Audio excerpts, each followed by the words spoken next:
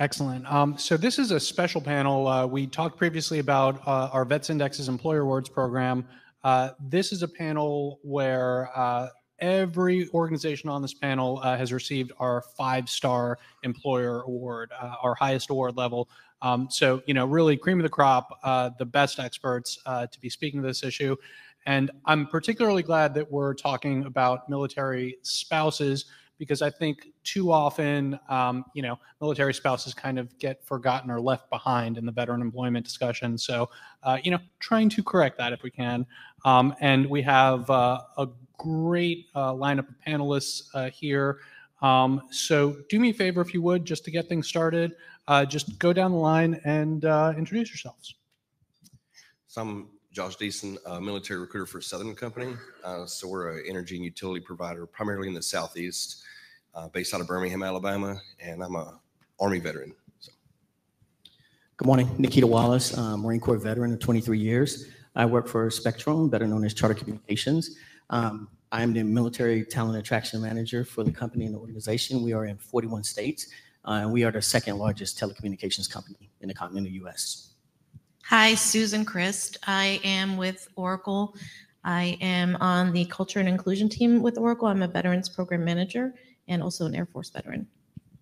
Hi, my name is Jezebel Rivera. I'm the Vice President of Talent Acquisition for Fiserv, financial technology company, and I support uh, recruitment efforts for corporate functions.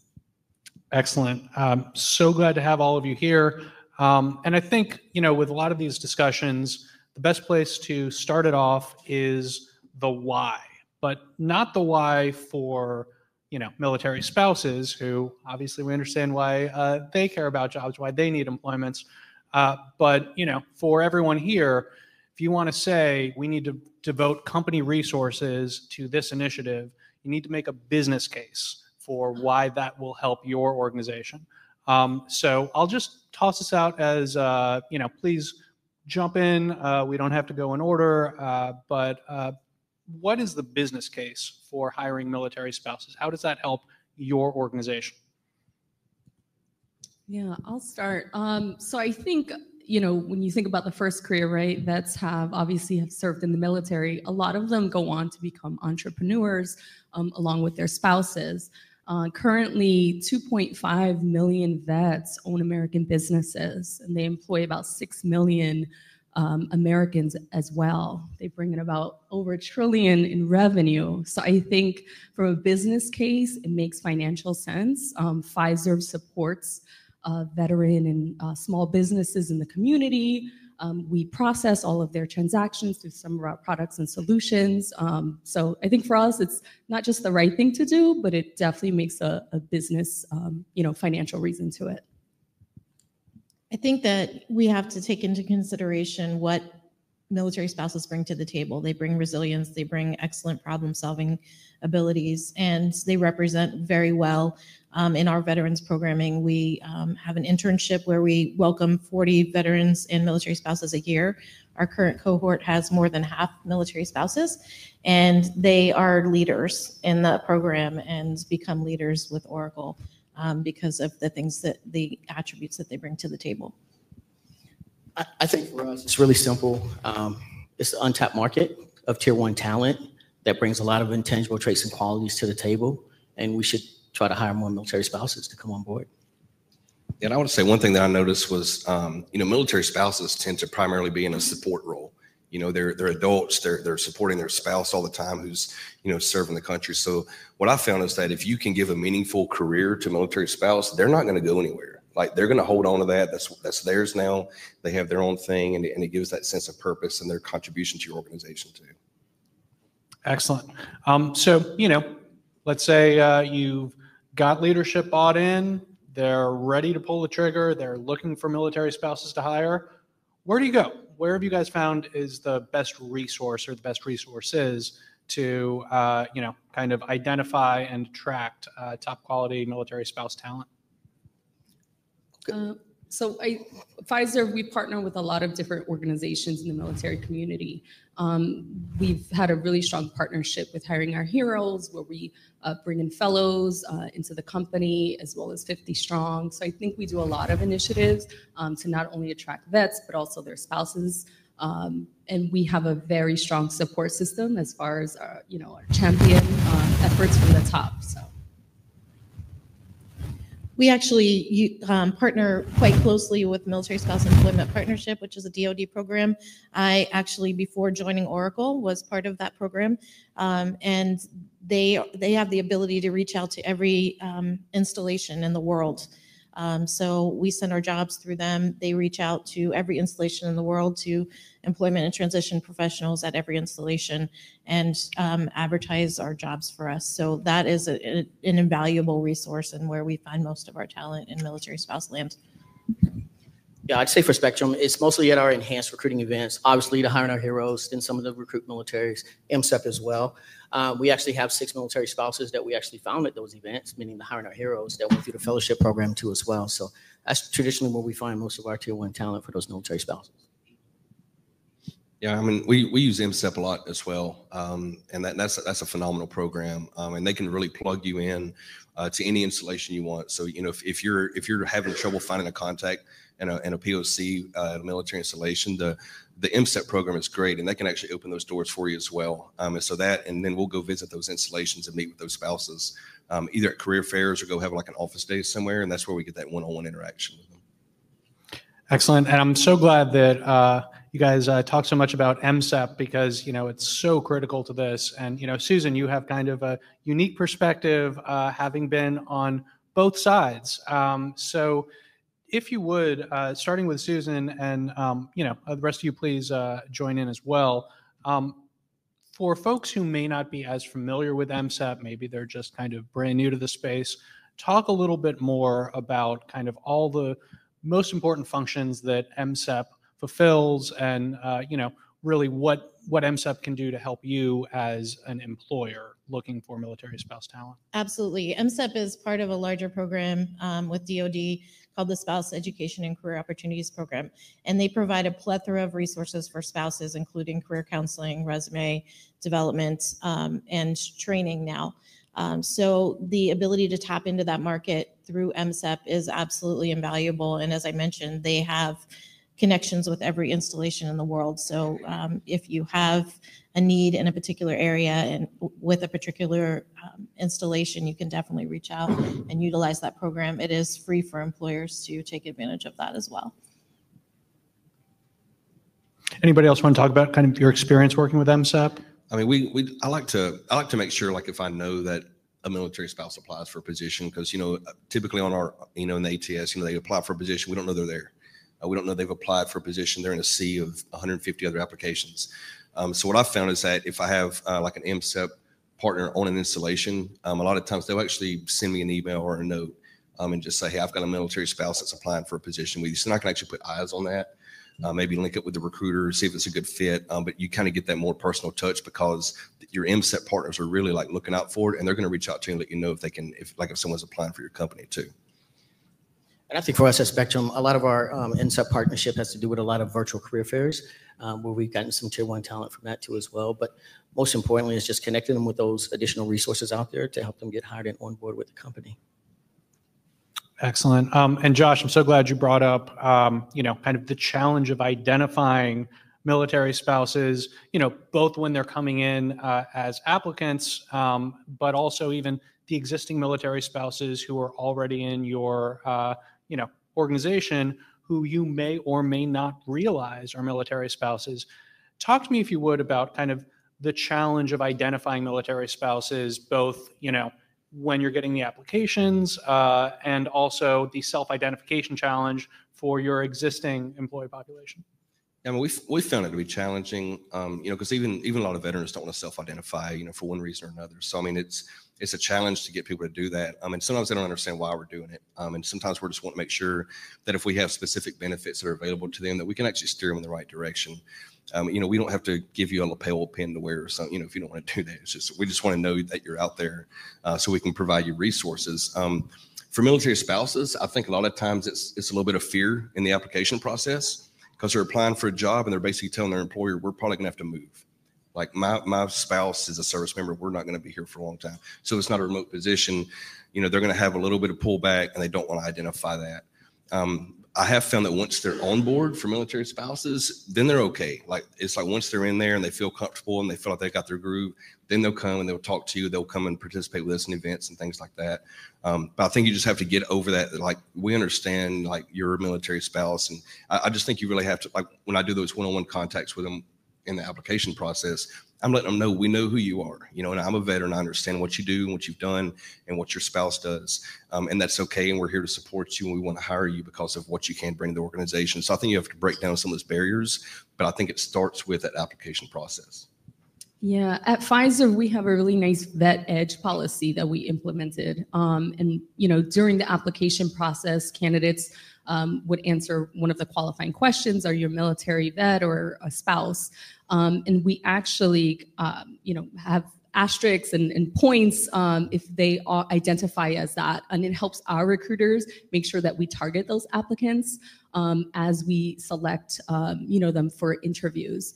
Um, so it's something that we really promote, um, you know, early on in the process. We talk to the candidates, the hiring managers, um, and if all things being equal, we really want to promote that hire for that military uh, vet or spouse. Um, and then when we talk about the self-identification process, that's something that we cover a lot of the times through onboarding, where we really encourage our new hires to self-identify if they're comfortable um, via, you know, our HRIS um, system and that's really important to really just identify gaps within the organization of where we need to do better at. Um, so that, that's something that we really uh, believe in and advocate for. Absolutely. It is such a challenge to get military spouses to self identify. They are, like you mentioned, afraid of that stigma of, I'm going to have to leave. Um, so one of the things that we do in the recruitment process is try to identify them um, as best we can. And utilizing MSEP and other organizations that target military spouses helps us to identify them as they come in as applicants. As far as identifying um, when they're with us, we have a very strong and active employee resource group for veterans and military affiliated um, family members uh, within Oracle, and that really assists us greatly in self-identification for military spouses. I think for us, uh, when it comes to the military spouses, no, they may not always self-identify on the front end, um, but when they do, in fact, self-identify, we try to connect them with some of the military spouses that are currently working on my team. Um, so they'll have someone to kind of match and mirror it and share some opportunities and some concerns because we do realize it's really tough for them to kind of make a decision on, you know, should I apply? Are we rotating? Are we going to PCS? So those are some of the concerns that are out there, but we do what we can to make sure that we connect with those military spouses to make them feel comfortable. And just like you said, you know, we have the BRG that's out there, whether it's the veterans BRG or the women's BRG, we want to make sure they have a, home within the company and the organization so they can kind of, you know, cross pollinate and share some of those questions and concerns they may have.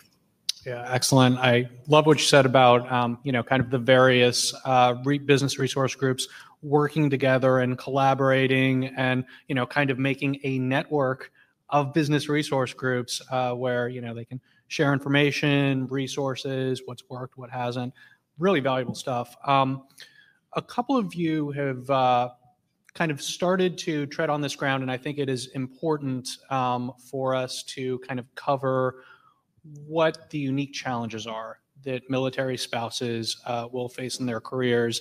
Um, you know, we've started to talk about this uh, a little bit, but I think it's good to kind of take it head on. And in particular, from the company's perspective and from the recruiter's perspective, um, you know, things like being alarmed at seeing, you know, a lot of job changes or resume gaps, um, you know, just kind of talk through the challenges that military spouses uh, are more likely to face in their careers and in their job searches, and what each of your organizations tries to do to kind of get over what may be for a non-military spouse applicant a hurdle, uh, you know, when looking at their resume.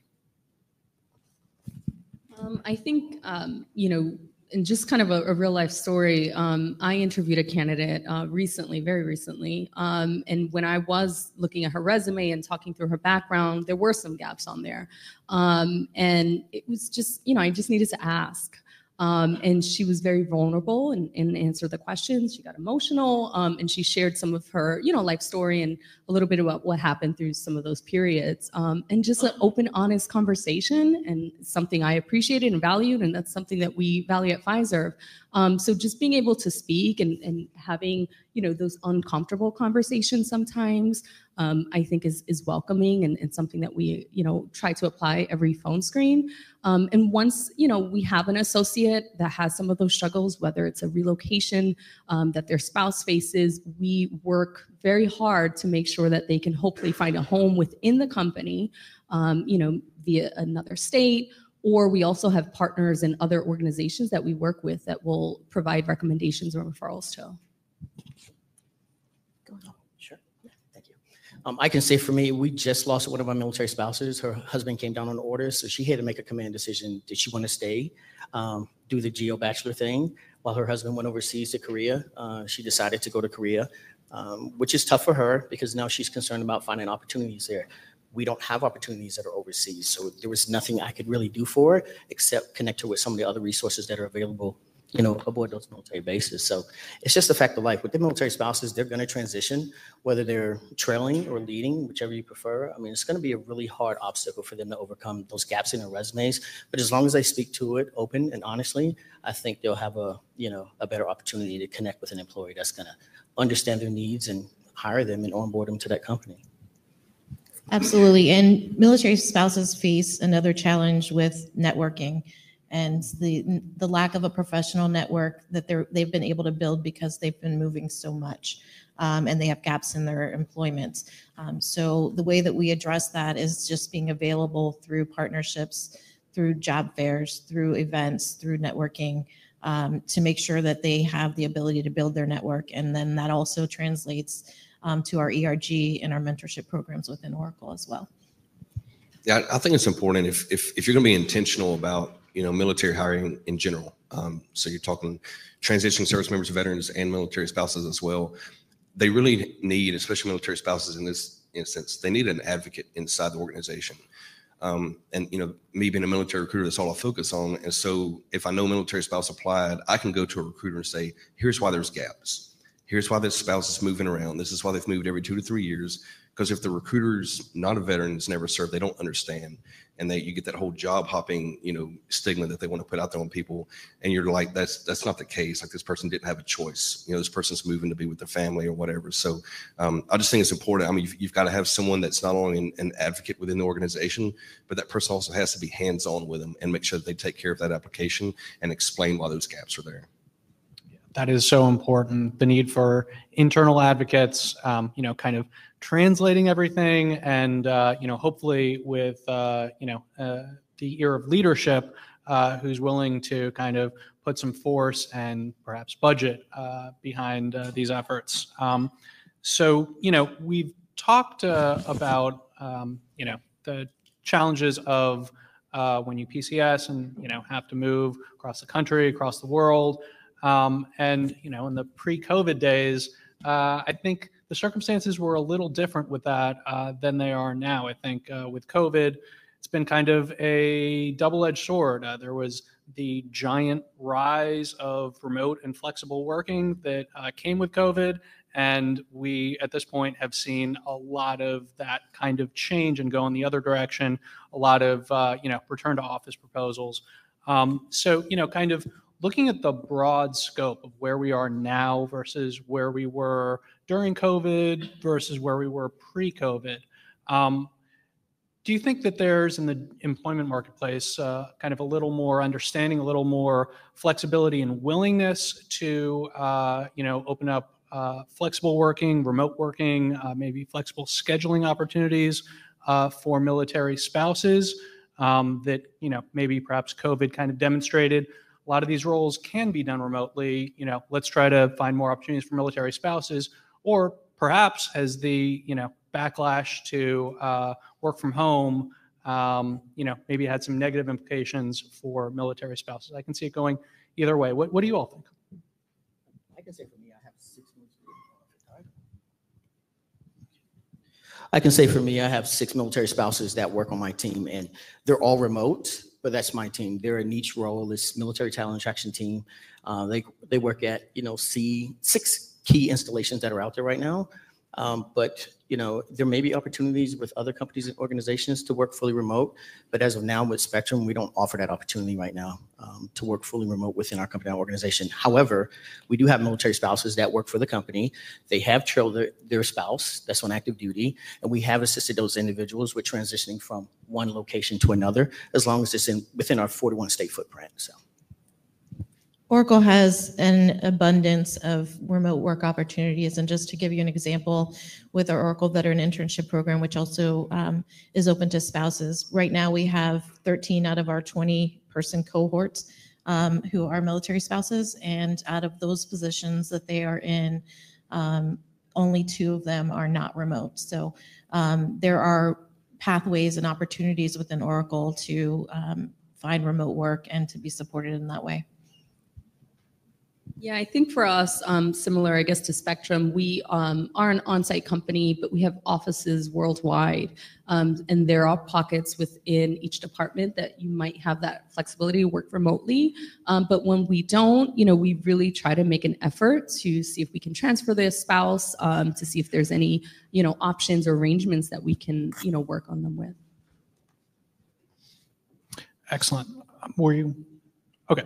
Um, So uh, heads up uh, that we are nearing the end of the panel and we have reserved the last, uh, you know, 10 or 15 minutes or so uh, for questions. So uh, if you have any questions in mind, uh, I'm about to ask kind of my last question for the panel and then we'll open it up to all of you. We'll have a mic runner coming around. And also for our online attendees, please, you should have a way to enter uh, questions into our online platform. Uh, we will try to get those in as well.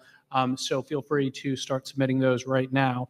Um, first, though, uh, I want to kind of wrap up my questions here, um, asking uh, about what additional resources you would recommend uh, the folks in this room, uh, you know, take advantage of what you've found most helpful uh, in uh, the military spouse area. We've talked a lot about MSEP. Uh, obviously, uh, that is probably should be uh, stop number one.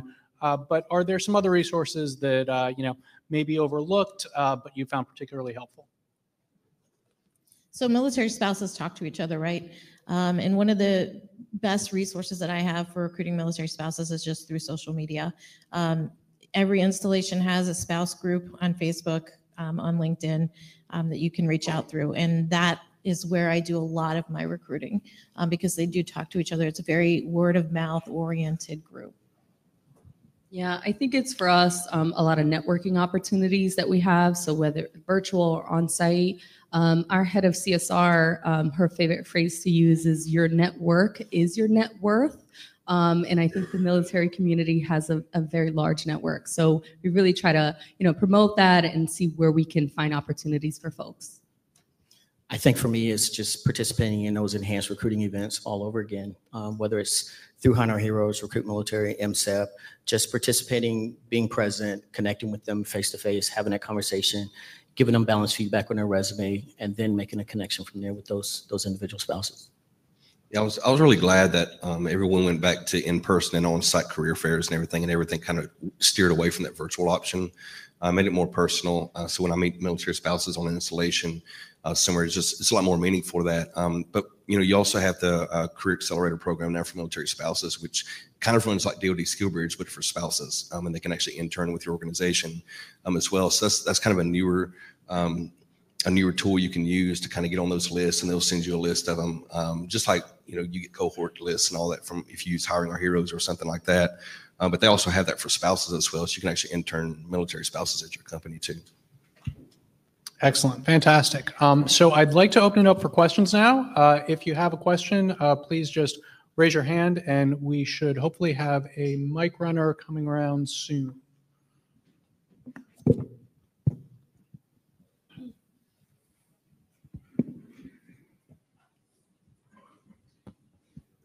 How y'all doing? Ole from USA. I just got a question relative to um, maybe policy related. Uh, so some of the challenges we have we're not, we are overseas. Uh, We are overseas, but, um, but it's very restrictive on where we are.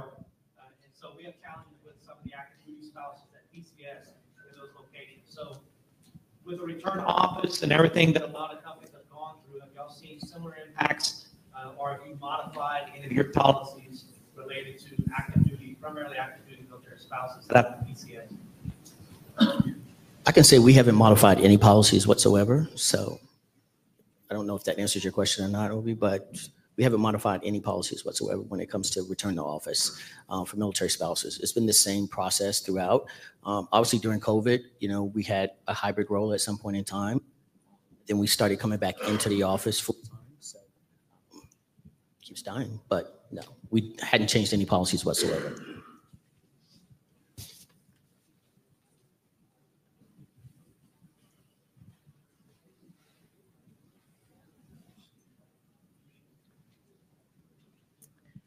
Hi, does this work? Okay. I'm Angela from Merck, and we have a, a very robust Veterans Leadership Network group in our company. And one of the areas that we've seen as a weakness is the spouse and family support. I'm a spouse, my husband's a retired Marine. Um, One of the things that we're trying to figure out is, we have the same issues you have, is how do you identify the spouses? It's all very confidential at the HR level, so if you're not part of the HR team, you're not really allowed to know. So how do we get people to engage with us has been an issue we've had. One of the things I wanted to ask the, the panel is that I know you're all in the hiring position, but for the groups that you have in your companies that do reach out to these family spouses, how do you encourage, what, what kind of activities do you engage in that help bring those spouses forward? So from an EBRG perspective. Yeah, I, I- can tell you now. So when a military spouse um, participates in an in-person or virtual career fair, post-event, I send out a campaign message Mhm. where they can set up an office hours, meaning a 25-minute phone call with our team. They'll have a conversation with us, provided he or she has applied for a role and they're qualified for it. We do up a narrative for each and every one of them, and we send it over to the individual recruiters. So we highlight those skill sets, and we do answer the mail in regards to those gaps too as well in their resume. So So We- what about the employer, the employees that you already have? the ones that we currently have. So we have, um, just to give you a history, we have a very large, like over a thousand veterans at Merck. Okay. And all of them have spouses for the most part. Yeah. Or they have families and members that they want to bring in. How do we get the people that are already there? So that's what I'm interested, because we have, we're, we're working on the recruiting piece like you've done as well. Uh, Although I do like this MSEPS organization. I think we'll try to tap into that as well for, as we're bringing people in. But it's hard to get people to speak up. And a couple of them are fr- afraid because their service members are deployed and they're not sure if they're allowed to say that they're a service member's wife uh, or husband. Um, But how do you get the ones that are already there who are not the target audience you're reaching for at this point because you've already hired them? So they're not part of the how do we hire them and bring them in? It's what do we do with them now that we have them? And I think that's, yeah, I think that's a part of the BRGs Sorry. that are, I'm sorry. I think that's a part of the BRGs too as well. They're going to connect those individuals and encourage them to be a part of the veterans BRG within the company, also the women's BRG too as well. So they're going to encourage those individuals to speak up, um, update their PeopleSoft, let them know that, you know, they're a veteran or a military spouse within the company and the organization. So I think it starts there with the BRG too as well, which is still a small group, you know. Uh, We have, you know, 8.2% or 8,200 veterans that are within the company and the organization. Not all of them are part of the BRG, but there are some that are within there uh, that may want to connect with other male spouses within the company and organization to encourage them to come on board too as well uh, and be a part of that program. So, and, and just share some of their questions or concerns about, you know, where they are in that space as far as the organization too as well. I think too, our veteran employee network at Oracle is not called a Veterans ERG. It is our military affiliated and veteran employee resource group. So um, the focus is expanded. There are opportunities for mentorship and we match military spouse to military spouse for mentorship. Um, In addition to that, there is a Slack channel just for military spouses that's available um, on our, on our Slack network as well.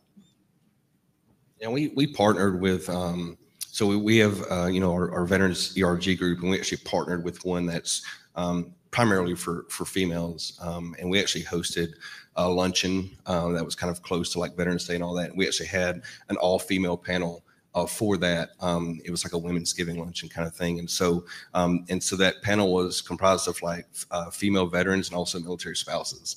Um, and I think it was big because then we found out we actually had military spouses in the audience that came to the event um, that we didn't know were military spouses. Um, even if I knew the employee, I was like, I did not, I had no idea you were a military spouse. Like, nope, you know, what, this is amazing. Um, and so I think having those events and then advertising those events, like you're, it's cool to have an ERG, but it, it needs to be active and it needs to be in front of the employee so they know that it, that it exists. And I think if you can partner up like we did, we actually brought a couple of the ERGs together. Like, like let's let's see if we can get in front of a broader audience um, and see if we can get more people to participate that way.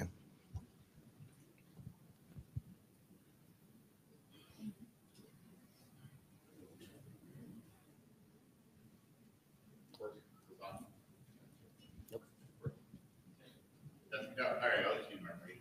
Uh, so just picking up on Oli's question on regards to PCSing, um, do any of your companies offer intentional benefits or time off around that time when the person has to travel? At my previous company, I think of the uh, female spouse, she was PCSing from Germany back to Texas, um, but had to take personal time off and vacation time to kind of fit that bill. And then the second part of the question is, and you've already started talking about it, um, when she lands in Texas, right, there's no network or anybody around her in that community to get reconnected into that community. So does your ERGs, ERGs assist, or is there a broader network that I'm not aware of that helps uh, spouses reconnect into those communities? So is there a policy for time off, and then how do you re-engage them in that community? I know right now, we, we do not have a policy for time off, but as far as re-engaging, um, I, I, I would hope that they know who we are as a team, as an organization, and they traditionally, they will connect with the military talent attraction team, and then we'll connect them with local um, um, sponsors for the, the location that they're transitioning to. Hi, thank you very much for uh, your comments and questions. Uh, I'm John Lees from uh, Serco. A comment and a question. So uh, for the group, the upcoming Military Spouse Appreciation Day uh, is just a fantastic opportunity for companies to kind of get behind, to build up that presence to your ERGs and, and maybe bring some folks out of the fold, in addition to the males who are military spouses as well, right? Got to remember that. Uh, My question for anybody up there, for Military Spouse Appreciation Day, do you do anything um, spectacular? Is there any, any takeaways that you've done before, uh, either at the company you're at or previous companies, or something that you've seen that you could share with the group that we could potentially use in our our planning processes? I don't think that's something that we explored yet, um, but I think we're always looking for opportunities to see where, you know, we can have um, some synergy around some of the events and celebrations. But definitely something that we want to look into. So our ERG recognizes Military Appreciation Month, the Military Spouse Appreciation Day, with a series of events, including keynote speakers, including phy- physical fitness challenges, including um, ways that they can give back to the community by partnering with nonprofits. Um, So yes, we do recognize it. Yes, it is something that is important on our agenda for our ERG. We do as well. We do recognize it. It is a part of the, uh, the Veterans BRG, um, communication plan, uh, to connect with those military spouses too as well. Uh, but traditionally it's virtual, unless it's around a center of influence, they may have something in person. Uh, but I know that they do have a communication plan that goes out where they have something, uh, virtually where they celebrate those military spouses too.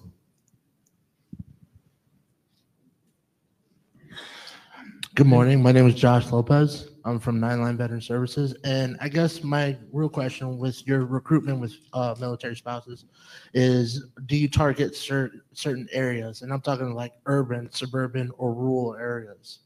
And how do you engage with them? I guess when you say certain areas, are you referring to key installations that are out there where you have the most transitioning service members that was presented on this slide before, or? Uh, I, I apologize. Uh, It's a mixture of both, right? So my organization, we not only are in TAP trying to engage with the transitioning, but we also go out to rural areas to best serve active duty veterans and their families. And so I was just curious to know if you're with everything that you do and engaging with those uh, military spouses, um, is it just specifically in urban and suburban areas, or do you go straight, or is it wherever? It's, it's mainly, I would say definitely around, there's five key installations out there that I have some military spouses on, but essentially within our footprint. So if it's within our footprint, we're connecting with those individuals about opportunities here at Spectrum. And that's one of the most beautiful things about the virtual side of the house. If they are located in a rural area, they can still participate in a robust, you know, uh, career fair and connect with us, you know, whether it's during the event or post event. And I think remote opportunity is really are key for military spouses, especially those who are in rural areas. So being able to provide those employment opportunities that are remote is key for that.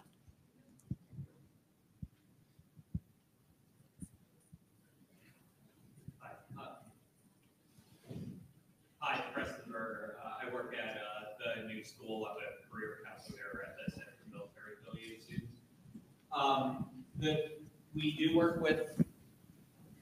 We do work with um, several veterans. The majority of my caseload is actually um, dependents, children mostly. And um, in keeping with that word, and families, I'm wondering if you have any um, I know you mentioned the the work that you do with ERGs. I'm wondering if you have any talent acquisition strategies for um, military children. I would say no, we don't have one specifically for military children, not to say that I haven't seen individual dependents, which my wife hates that terminology, um, come to an actual career fair and connect with us about opportunities too as well. Yeah, we have um, different activities, um, not particular to, to military children, but obviously to children, and we definitely encourage that. So we have a really nice after-school um, FinTechy Future program that we offer to STEAM students, um, you know, middle school uh, age within the community.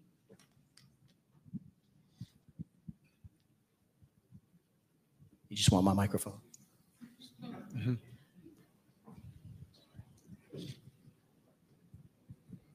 Yeah, thanks for being on the panel. So for military spouses, uh, there, for service members, there's reemployment rights, right? So I can, I can come out of high school, have a good job, decide I want to go in the military, and I can come back to that same job after my enlisted is done. For guard members, they can get deployed, they can come back, their job's pretty much guaranteed. Uh, do you voluntarily offer reemployment rights for military spouses, or do you think there would be a benefit for a, a regulation or a requirement for reemployment rights for military spouses? I think you could. Um, I mean, I think just, you know, first and foremost, having the internal movement ability um, to let them know that they can transfer um, across your organization is, is really important. Um, but I would, I would, I would say that I, that's probably a really good idea to look into something like that to just something else you can take off that that plate of stress that they've already got um, around what their life looks like. So I, I think that's a good point. It's something you can look into. I mean, I think back, I, I'm- I mean, I just offboarded one of my military spouses. Um, You know, I mean, obviously, you know, I documented she's, you know, eligible to come back with the company and the organization. um, And to obviously reach out to us if she's back in footprint too as well. But currently, right now, there's, you know, I think it would be something great to have a reemployment right for military spouses. Um, But, you know, obviously, that's going to have to change with policy within that company and organization. So that's a really huge ask. Um, But I'd love to see that happen for the military spouses. Once again, I'm, I'm biased. I mean, I was a dependent on active duty and then, you know, retired as a Marine and was married. So, you know, I, I think that would be a great opportunity for those, you know, companies to put that in place. So. Yeah, I don't think we have a policy, but again, it's the right thing to do. Um, so I think that's the policy that we adopt. So if we have someone that's re, you know, interested in rejoining the organization, and that's the story of why they left, why not? Um, so I think that's just something that we instill in, in part of our value system. Excellent. That's so great. I absolutely love, you know, discussions like this that open up new ideas, just, you know, collaboration. That's exactly what we're about here. Um, it is just about time for us to wrap up this panel. Unfortunately, time flies when you're having fun. Uh, our next panel uh, won't start for another 20 minutes. It starts at 10:35. Uh, that is going to be a great panel you won't want to miss uh, about a pipeline for veteran talent that I think is too often overlooked. One of the best uh, benefits of serving in the military is the GI Bill. So if you want to find great military talent, I think too often organizations are looking for people coming directly out of the military when a lot of your great veteran talent might actually be in colleges and universities. So we'll have a lot more to talk about on that uh, at the next panel. That'll start at 10:35. Uh, Until then, we are going to be uh, in our morning break and networking session uh, in the room immediately behind us. Uh, So thank you all very much.